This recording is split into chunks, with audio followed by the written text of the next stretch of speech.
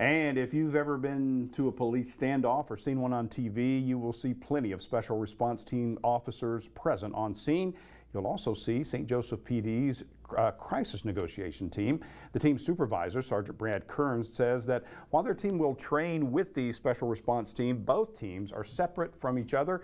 Once they present on scene, negotiators are constantly busy and they will try to make contact with the person inside by phone or a public address system.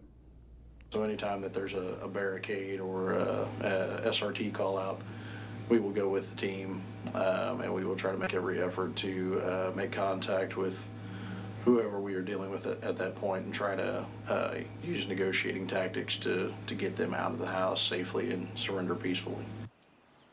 For a normal call, Sergeant Kern says there will usually be two negotiators present.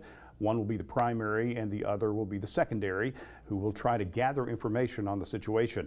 Kern says it varies from uh, it varies about when negotiators are called out, when range whether it's ranging from weekly to monthly.